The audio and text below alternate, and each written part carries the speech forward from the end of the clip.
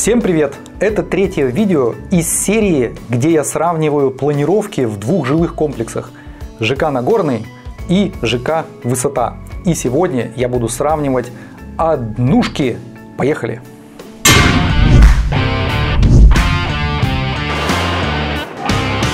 Get ready for the next battle. На сайте я искал самые маленькие по размеру однокомнатные квартиры. И вот что у меня получилось. ЖК Нагорный это 52,6 квадратных метров ценой 7 миллионов 653 тысячи 300 рублей.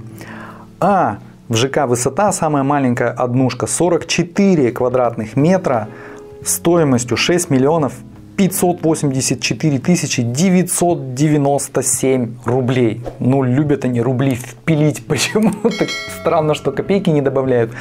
Ну да ладно. Сравниваем однушки. По доброй сложившейся традиции сравниваем количество окон. И, о чудо, и там, и там их по два. Две комнаты, два окна. Все просто. И там, и там есть лоджия так называемая. И там, и там, похоже, они теплые. Ну а теперь Входим в квартиру и сравниваем прихожие. В ЖК Нагорный 6,6 квадратных метров, в ЖК Высота просто 6 квадратных метров. Смотрим, как они выглядят.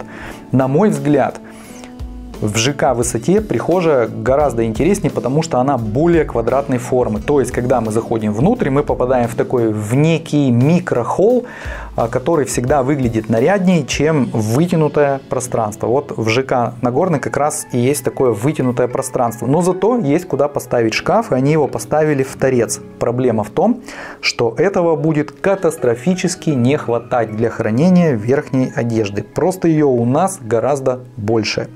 Зато здесь можно придумать гардероб для верхней одежды. Можно вот так вот стеночку построить, и у нас получится гардероб в прихожей со стороны прихожей для хранения огромного количества вещей.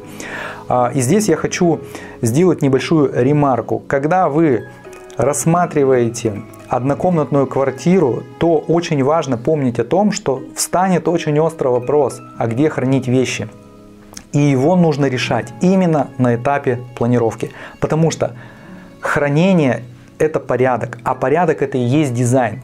Если у вас нету порядка, то дизайна не будет. Планируйте как можно больше мест для хранения. И вот здесь такая возможность есть. А что в ЖК «Высота»? А в ЖК «Высота» мы вынуждены поставить всего-навсего один шкаф, который встанет, скорее всего, вот таким вот образом. И он превратит ту прихожую, которая была а-ля холл, в такое вытянутое коридорообразное помещение. Вот, поэтому прихожая и возможности в Нагорном лучше, чем в высоте. Идем дальше, смотрим кухню-столовую. В высоте 19,3 квадратных метра, а в Нагорном 18,1, на целый 1 квадратный метр меньше. Очень странно, потому что Сама квартира аж на целых 8 квадратных метров больше. Почему общую зону не сделать больше, мне не очень понятно. В общем, и 19, и 18 квадратных метров это мало для общей комнаты, но что делать, работаем с тем, что есть.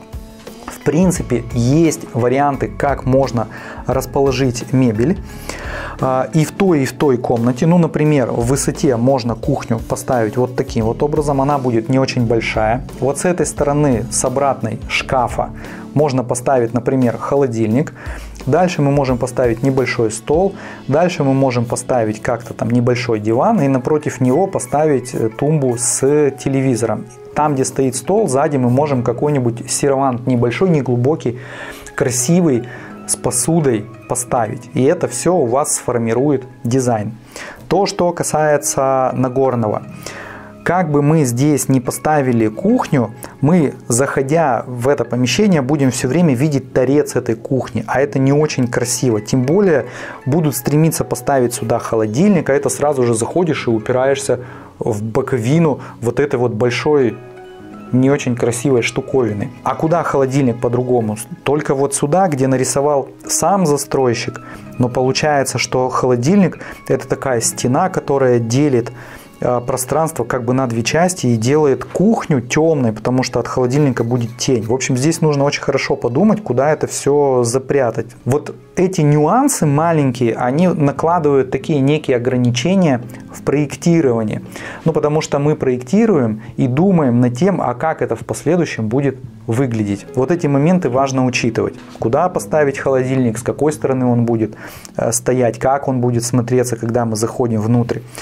И вот здесь, на мой взгляд, даже хуже, чем в высоте. То есть в высоте здесь гораздо правильнее можно расположить, и вот эти вот большие объемы не будут раздражать на самом деле, когда все сложится в единый ансамбль. Жилая комната, то есть спальня. В ЖК высота это 12,5 квадратных метров, а в ЖК Нагорной это 17,5 квадратных метров. И конечно же, однозначно 17 метров это гораздо лучше, чем 12. Тем более, что в комнате, та, которая находится в ЖК Нагорным, мебель располагается гораздо органичнее, чем в ЖК «Высота».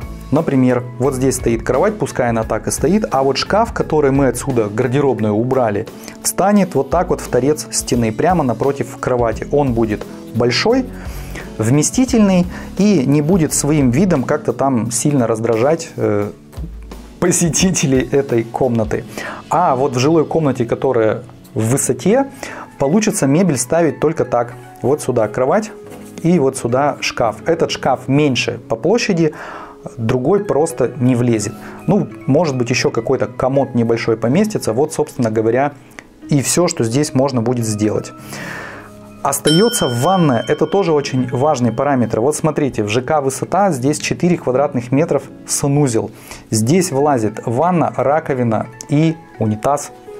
Вопрос, а где стиральная машина? Ее здесь нет, а придется куда-то поставить. А вопрос куда? Вот в этот угол как-то не очень красиво и неудобно. В спальню неприемлемо. В гостевую комнату, в гостиную, то есть тоже как-то так себе вариант некуда поставить. А вот в Нагорном уже этот вопрос продуман Смотрите, есть зона для ванной, а есть зона для постирочной. Ну, понятное дело, что это одна общая комната, которая называется, собственно говоря, ванная комната.